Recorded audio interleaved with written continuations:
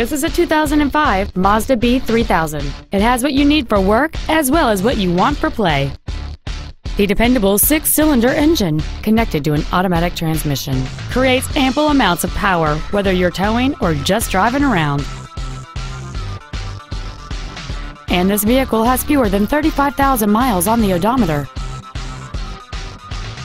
Call or visit us right now and arrange your test drive today.